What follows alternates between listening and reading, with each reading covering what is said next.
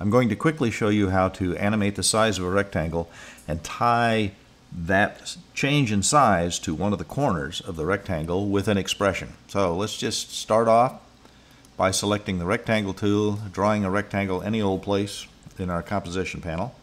We're going to press the U key to reveal all of the properties of that rectangle that are not standard.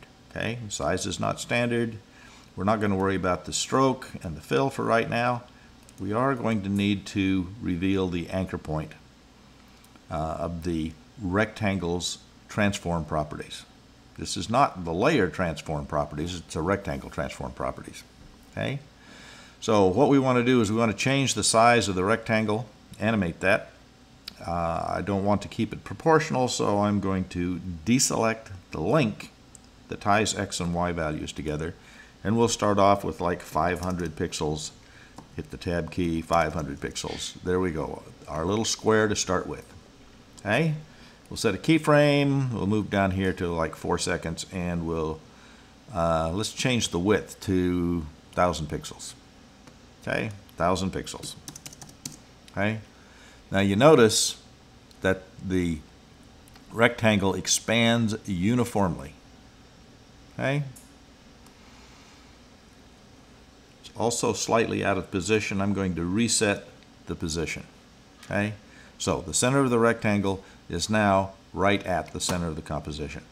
We're going to tie the anchor point to a corner by using half of the size value. Okay? Pretty easy to do. We'll just hold down the Alt Option key, drag up to the rectangle path size property, and then divide that by 2. There we go. This moves the anchor point of the rectangle to the bottom right corner.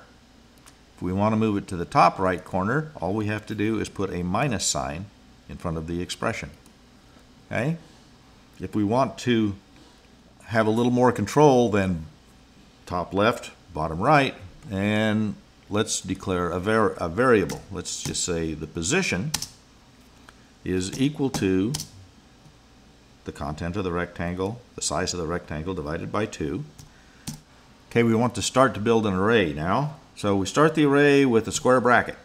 Okay, and we want to be on the left side, so we're going to do minus p, but we want the x value, so square bracket 0, comma. Now we need the y value for the anchor point, so that is just p and the y value, which is the 1 in square brackets.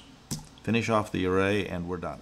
So you can you can change to the selection key, position your layer for your design, and animate to your heart's content